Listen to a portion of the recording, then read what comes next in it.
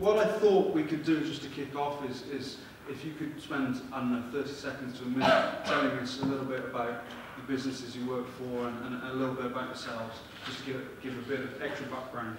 Um, if, you, like to start, Andrew. Yeah, absolutely. Um, so welcome everyone. Um, so I work for Act-On, who are a marketing automation vendor. Um, and ultimately, marketing automation is about understanding online buyer behaviour so that you're better equipped to engage with uh, your target audience. Um, I think we can all agree today that you know buyers have more control than ever before online. Um, so it's important as organisations that we understand how our buyers want to buy from us through which channels so that we can better engage with them and, and ultimately drive uh, more leads for the business and, and revenue, um, increase revenue for the business. So that's a bit about Act-On. Great, thank you. Um, Judy, would you like to? Good afternoon. Can you guys hear me okay? Yeah. Um, so I work for a company called Mailjet. We are an email service provider. Um, we help companies from all over the world, actually 150 countries in the world, send marketing and transactional emails.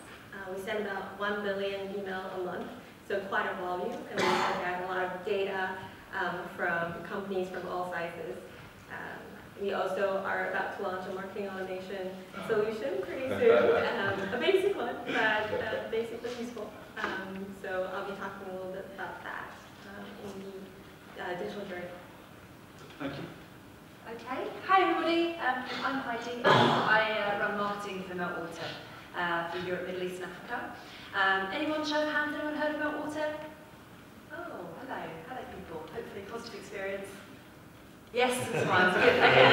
Um, okay, so basically what Meltwater does, we're the global leaders in online media intelligence. So what that means is we track billions of conversations every day um, and provide our clients with anything they need to know about um, in terms of their brand, their competitors. We need to know about what competitors are doing. Um, uh, maybe products that are being launched, reviews, and industry news. Uh, and we do that across online news coverage, uh, broadcast actually, um, and print, and we also uh, cover uh, social media analysis and engagement as well. But our, our strength really lies in the digital uh, sphere um, and the online uh, news and social media. We've got 25,000 clients globally, um, and we have 1,000 employees uh, in 50 offices um, all over the world. Great, thank you. So the theme of our panel today is Can Digital Stand in Splendid Isolation? Um, so the first question I've got for, for you guys, and anybody in the audience, I hope panelists won't mind if you guys have anything to say as well, put your hand up and, and, and shout out. Um, but the first question is, what is your top piece of post-digital thinking advice? Um, you know, feel free to Okay, I'll jump in then with my post-digital advice. I think that um, as marketeers, historically, we uh, relied on um, understanding our cus- customer uh, through lots of physical means, right? So what did it look like? What did market research look like historically? Well, I remember this, you were given a, a piece of paper with a checkbox where you had to tick the box or you had to cross it if you liked the brand or you didn't like it. Um, and you had kind of uh, market research companies or market research held in uh, uh, kind of rooms with people who had to give that feedback. And I think that um, uh, increasingly what we're seeing is the ability to instantly engage with your audience online um, and be able to just plug in a keyword and then what happens you can see everything about what people think, what they don't like, what they like, what you know, their, what flavour they prefer, you know, how they feel about that new product that you launched. Um, and so I suppose for me, uh, my piece of advice is to listen, I think, uh, because ultimately um, if you are listening, that gives you a lot more power uh, and understanding as to what your customers are saying um, or potential customers or competitors for that matter. Um, and actually one of the interesting things that we've noticed is that uh, going forward um, in the digital space, more and more data from outside of the organisation is being utilised to make decisions. Uh, so historically, again, um, you know, you would use uh, data types to form your decision making uh, from inside, like how, how your sales looked last quarter, you know, what was your events like, you know, let's have a look and analyse how well we did. Whereas going forward, you can actually look at touch, uh, tapping into things like advertising campaigns for your competitors, how well they did. I mean, there's lots of tools um, in terms of optimizing their conversion, how is your conversion rate versus theirs.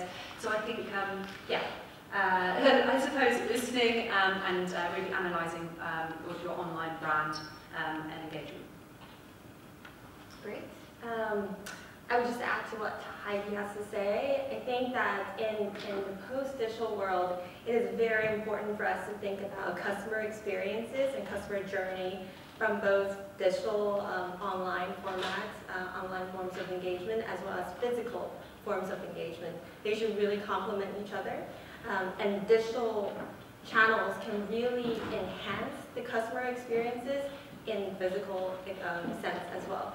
Take the example of Uber, um, you know, they make uh, ordering a taxi, um, boarding a taxi, and, um, you know, paying for the ride a really easy experience with their digital mobile app. Um, you know, you order Uber, you know when uh, the Uber is going to show up, and you don't even take out your wallet when you step off the car. But then the physical experience that they provide in actual ride is consistent as well. It, it provides a very efficient, um, very uh, customer-centric approach, and they both enhance each other. So that is how the brand became, became so popular, and um, you know that's how they build loyalty through their customer base as well. So think about all the touch points you can have with customers through online format and through offline um, experiences to help you build better and more personalized customer engagements. Yeah, absolutely. Um, so my uh, piece of advice would be um, meet your buyers online, um, where you know which through which channels they're using. So it's uh, important to understand where your buyers are through which channels they're using to to better engage with them. Um, but I think before you perhaps invest in digital marketing, it's important to perhaps understand which channels might drive the, the best bang for your buck, if you will.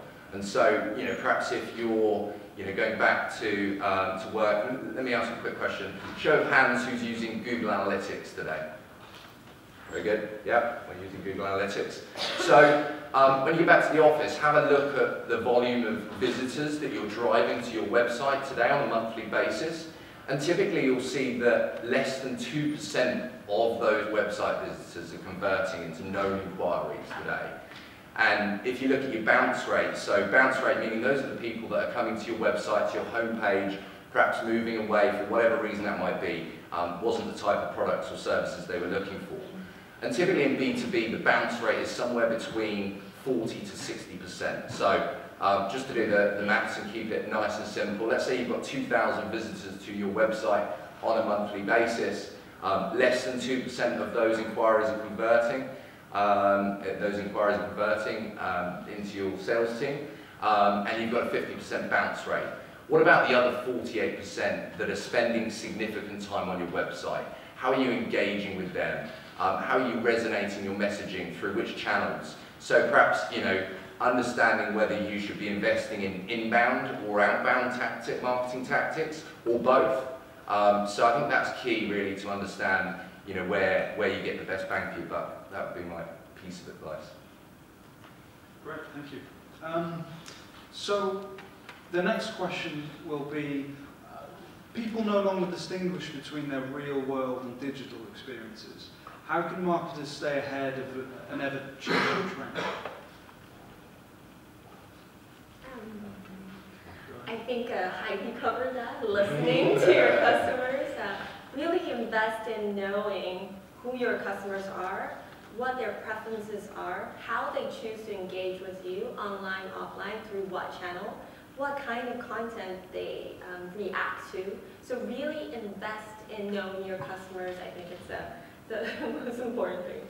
Yeah, absolutely. And, you know, keep it human. Um, I think it's important, you know, whilst we're in digital, that we are still adding that human element um, to our interactions and engagement.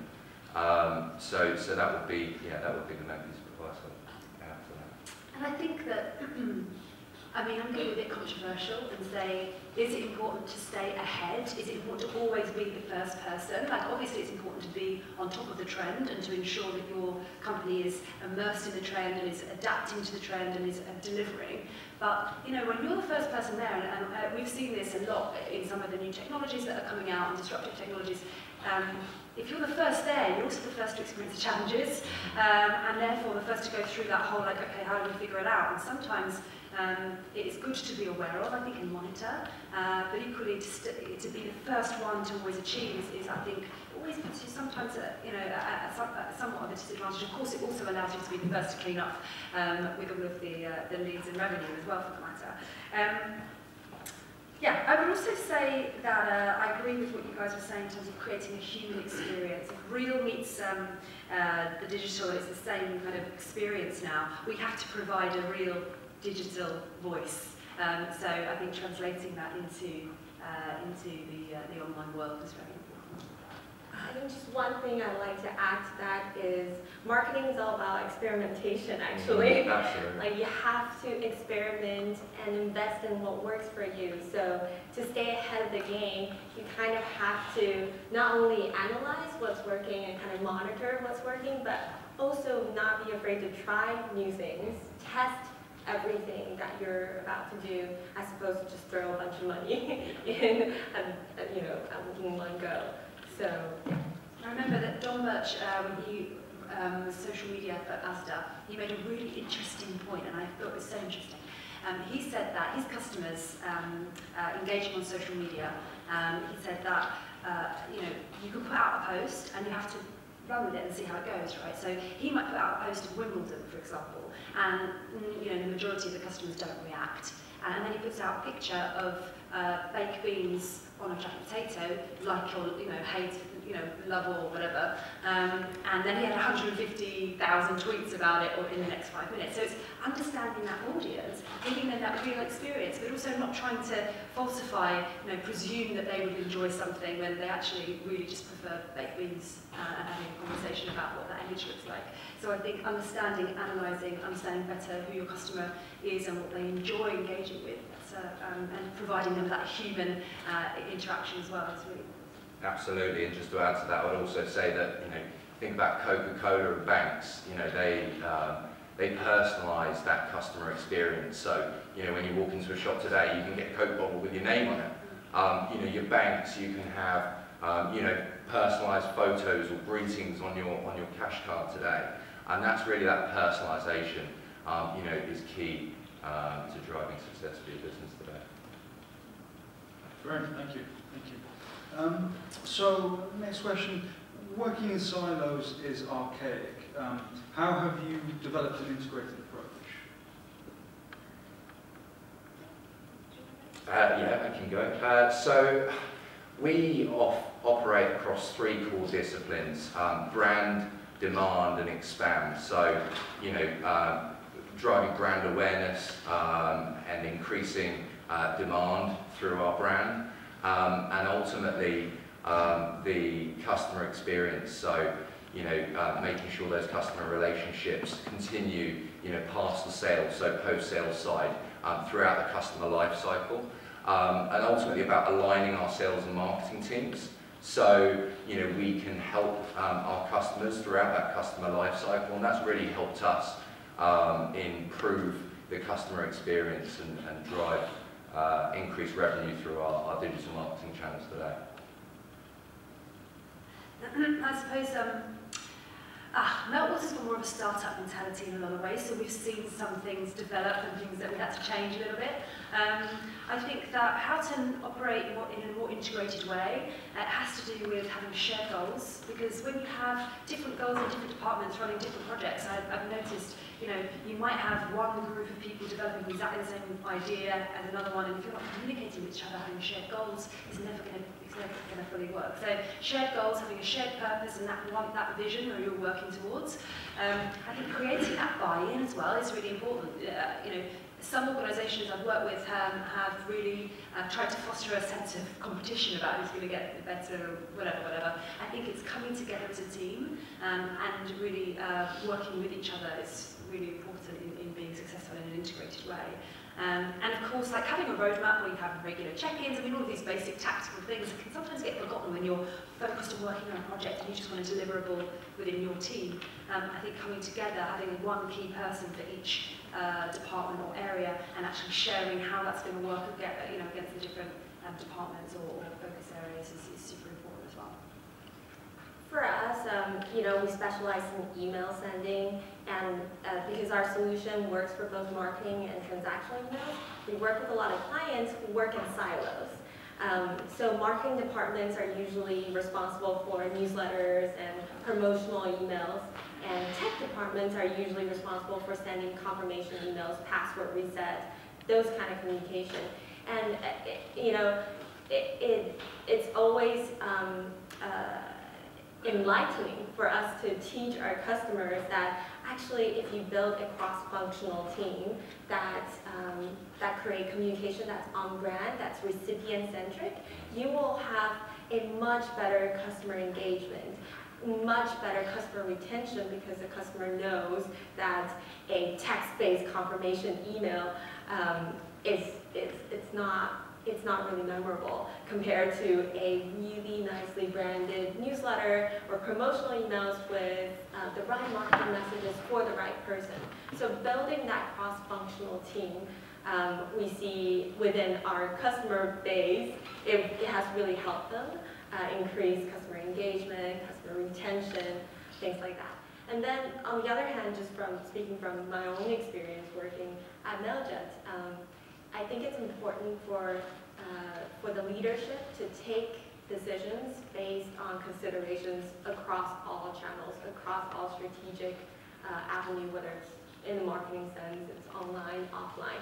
You, you don't create a digital journey for one set of customers and then think about events and focus on offline experience in silo. You, you do need to consider what will be the maximum an optimized way to engage with customers through different channels, uh, online or offline, physical or digital. Um, that has to be uh, evaluated as a whole, as opposed to two separate, you know, journeys. Great, thank you. Um, so, in, which new technologies have been most disruptive for marketing in recent years? So, yeah, I mean, I would say um, account-based marketing um, is certainly a hot topic right now. Uh, predictive analytics and, of course, social media. You know, many of us still struggle today with, you know, which social media channels to use. Um, how do we measure ROI through those social media channels? So, you know, I would say those have been the three most disruptive technologies that I've seen in recent years. Yeah, I was thinking of marketing automation, actually. Yeah. Um, I think, I don't know if you can remember, like, before having marketing automation, it, the roles, was, the roles were very different. Um, and I think uh, a disruptive gosh, I think the anal analytics rather, um, being able to actually identify not just that the customer base is broadly female and age 45, but actually being able to see what time of day they are engaging on their website and what blog posts that they're really resonating, um, and you know where in the country they're reading and you know what you know all these different demographics and characteristics that we now have so much insight into who these people are and what they're doing and their behaviour of our audience. So um, I think that's relatively disruptive, but of course mobile, right? And then the three screen uh, I don't know about you guys, but trying to create that seamless strategy where someone who can look at their mobile also has the same sort of brand experience as they do if they're on their desktop or their tablet or their television or whatever it be. So I think it's a very interesting um, disruption uh, with the, the fact that we've had these different platforms with which to engage with brands. Yeah, I would absolutely agree with both of you guys. Um, I think marketing, marketing automation is probably the, the one thing I would talk about a little bit more because I think that now it's all about personalizing the, the type of content, uh, the delivery time, uh, the delivery channel, that the engagement channel that you have with your customers. Uh, to not only attract them, but to build trust and then build loyalty. So that's, that's what marketing is about, attract them, build trust, and build loyalty. And marketing automation can really personalize those type of engagements um, at each stage of the funnel. Right. Great. Um, are there lessons to be learned from the pre-digital marketing era? Um, yeah, I mean, I, I still think, um, you know, the pre, before the pre-digital era, you know, um, online ads, billboards, radio ads, you know, they all play a pivotal role in your marketing tactics today.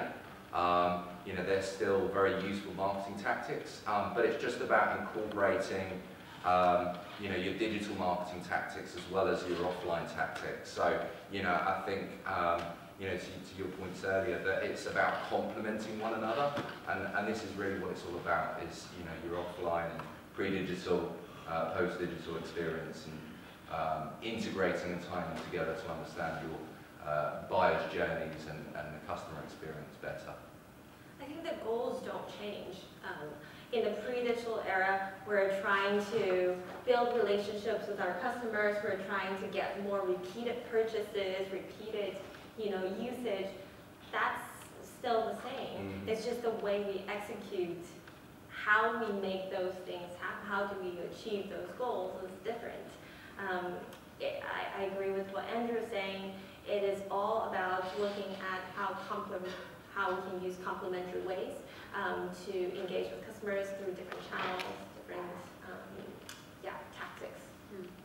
So I think so. I think also, I mean, uh, what lessons can we learn? 100%. I think that relationship building is still so fundamental to um, to our role, mm-hmm. uh, as it always has been. And so yes, we could do a really fantastic email campaign that goes out and it looks beautiful. But ultimately, when you meet someone face to face and you have that one-on-one -on -one interaction, uh, you're much more likely to create that relationship or, or be able to prove something interesting uh, than just reading an email or having that online digital experience personally. Uh, and we run a lot of events at Meltwater, so um, I'm not sure if any of you guys have been to any of those, but we run um, kind of business breakfast and lunch and learn, and people want to touch, they want to come and they want to feel, they want to see the book, and they want to engage with you, and they want to have that chat over the coffee and that sort of thing. And I think that um, providing that uh, relationship building if we can translate that digitally in some way, if we keep that human voice, that humour, you know, then, then maybe that, you know, that's a lesson certainly learned, but I think it also, to agree with your points, we still need that, that uh, the old school a little bit still, in my opinion. Yeah, great points. Great. So our, our last question um, for, for today is, consumers are now bombarded by marketing messages on a daily basis. How can marketers cut through the noise? So, you know, I think it's important to be uh, witty, creative and strategic um, with, your, um, with your messaging. You know, ensure that you perhaps use video tactics. You know, we're, um, you know, we, we love illustration today. So those visuals really help us to, um, to feel um, as if we're part of that experience, you know, to, to help us to buy into that. So, you know, videos I think is a great way today. Um, I only see videos growing and growing in the digital marketing sphere and certainly tactics. So you know that would be that would be some of my recommendations. I would say that um, video, I totally agree, really really important, engaging in visual way. But ultimately, if you see a video last Friday about something, even if it was the funniest, most hilarious thing in the world, you're not going to share it again because you saw it last Friday. So I think providing something unique that hasn't been seen before, providing something that um, yeah, is, is an unusual twist on something, is much more likely to create that engagement that we're looking for. Um, and that, you know, in terms of channels, and that's something I agree. Uh, but yeah, I think the, the one, if you can find that, that viral, what makes something viral, it's probably witty and humorous, but it's also different, right? I would say two things. Um, be relevant uh, to what your recipients or what your uh, customers are to, to see, what provides value for them, anticipate their demand, anticipate their need, be relevant at the right time. And the second thing is be consistent. So if you consistent, consistently provide a really good experience, really good content, whatever channel it is, it could be a video, it could be a witty joke or something, but as long as you, you're consistent, they will come back to you, they will engage with you, because that's what, they, they know what to expect from you. So, yeah, be relevant, be consistent. And how to be relevant? Well, it's, again, it's building on those personas. It's understanding yeah. who is the person who you have to most engage with, and if it is somebody who is of a, you know, male, 25, then, you know, and loves a certain, I don't know, shop or whatever game, uh, in which case you have to really target your, your audience a little bit more relevant and personalised. And I think personalised automation is something uh, as well. I don't know whether you guys have used any personalised automation type um, services, but uh, certainly uh, providing people, sometimes we don't want to be bombarded with the same beautiful message. We want that personal experience. Uh, and so sometimes that text body of an email is much better than the brightly coloured or singing or dancing marketing messaging. And, and I think just to add to that as well, it's important to understand where your buyers are um, in, in the sales cycle. So, you know, if they're top of funnel, think, you know, educational content um, and think about who you're targeting. So, you know, why you're personalizing your messaging, um, you know, based on perhaps traditional demographics. Use that online buyer behavior to make your content far more meaningful and relevant to your target audience. You know, then of course you've got far later in the sales cycle. So, you know, what are they interested at that point? Perhaps it's case studies and, you know, pricing pages because they're, they're at the, the key stage of that purchasing decision process. So, you know, I think some of those things that you have to consider um, when, when helping your customers and prospects through the, the journey, that customer journey, that sales cycle. One, can share one other thing I just thought of. Um, we had a, a client who um, had seen a rise in the amount of, it was a packaging um, of one of their products, a food product, um, and they saw a rise in the amount of people uh, buying this particular product. And so naturally presumed that it was because they people like the product, right? They like the salad. Um, and so uh, what we did, I was thinking like in terms of understanding your customer that we're talking about, um, by digging in, they were listening on social and made some really interesting things, and it turned out that actually it was nothing to do with the, product, the salad, it was the packaging that it had come in, because there was a game on the front of it that people could, um, that kids could uh, utilise. And so by, by understanding that part, making it more relevant for that particular audience, and changing that packaging to go on a cross sector of different um, uh, products, they actually increase their their um, uh, you know, revenues, I guess, across different um, uh, package, uh, products. So sometimes understanding is super important in informing your strategy um, and listening. Listening. Great, thank you. Thank you so much for your insights. Um, have we got any questions from, from the audience? I think I've got a question for Judy. Obviously, these days we're all bombarded with email marketing campaigns, like 20, 50 a day most of which we just skim past. So do you think that there's still a place for your marketing campaigns in the future, or is that going to die out just because everyone ignores it? Actually, email is not going anywhere. Looking at uh, the past uh, statistics, even from like five years ago to a research that was done last year, email is consistently providing the highest ROI for brands. Uh, we're looking at 30 to 40 times return on, say, one pound investment versus 30 to 40 pounds return. Um, email is still the more, the, the most um, relevant way for you to mass personalize communication. So for brands, and you can usually personalize content that would drive conversion. So for example, um, you know, social media feeds, uh, lots of brands use that to promote their products or promote their um, you know, sales or something. But it actually, um, you know, goes, it, it's not, it's not consistent on, it's not going to stay on the mobile screen all the time. Whereas emails always in your inbox. I know a brand I love. Um, I know I receive an email from them every week, and maybe I don't have time to look at it right away, but I go back to the inbox and I search for that email, and I click on the promotional code to get, uh, you know, products.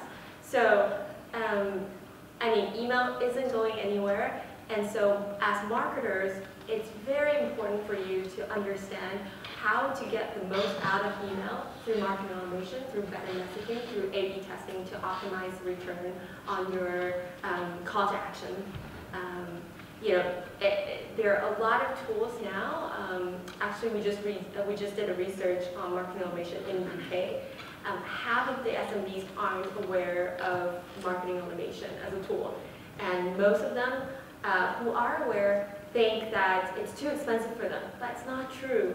There are affordable solutions for you to get to know how to build customized personal um, personalized journey for your customer base based on the information you collect from them, from your website, from the website visit, from their past purchase behavior, from their engagement with your social channels, you can actually amass a ton of data to be able to set up the relevant workflow for different people. Right. Um, so yeah, as marketers, one of the most important thing is master email because it's still the most important channel for you to get return. And I mean, just to, you know, just to add to that as well, think of, you know, we've all purchased something through Amazon in the past